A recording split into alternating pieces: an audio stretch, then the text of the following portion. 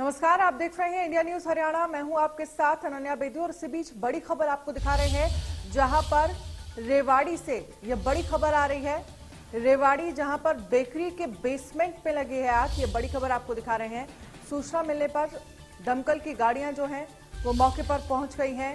आग बुझाने में दमकल की गाड़ियाँ जो हैं वो जुटी हुई हैं। ये बड़ी खबर सुबह सुबह आग लगने से अफरा तफरी मच गई। हालाँकि आग किन कारणों की वजह से लगी इस बात का खुलासा नहीं हो पाया है।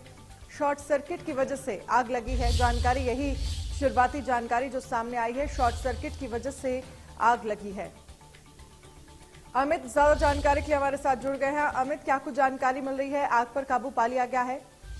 जी, आपको बता दें कि रेवाड़ी शहर का रेलवे रोड सबसे व्यस्तम क्षेत्रों में से से यहाँ पर तमाम होटल मौजूद है और यहाँ पर कई बेकरी के, के गोदाम और बेकरी की शॉप भी मौजूद है।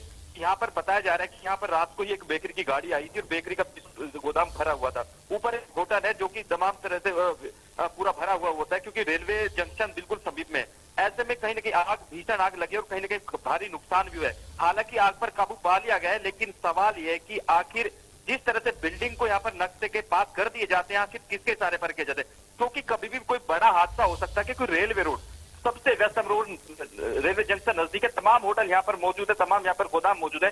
ऐसे में बड़ा सवाल है, जिस तरह से आग लगी है, कहीं ना कहीं आग लंबी फैल बड़ा नुकसान हो सकता है। हालाँकि फ़िलहाल आग पे काबू पा लिया गया है, सामान जलकर राख हो गया पूरी तरह से, लेकिन वही बात है कि आखिर नगर परिषद के आधार किस आधार पर यहाँ पर लाइसेंस जारी करते हैं और नक्शा पास कैसे करते हैं, ये बड़ा सवाल है। जी। चलिए बहुत बहुत शुक्रिया, तमाम जानकारी के लिए।